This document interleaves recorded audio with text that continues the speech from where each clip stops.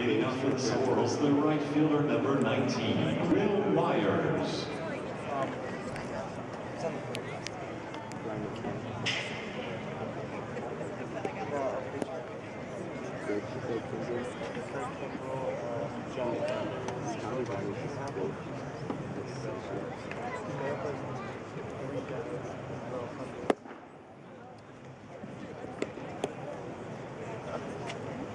I haven't seen them with He's like, he's like mid high schools.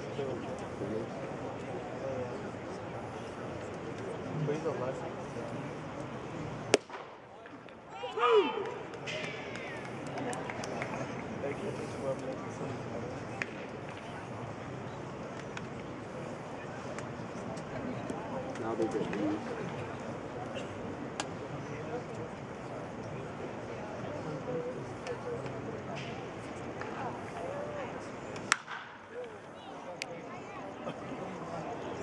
Really?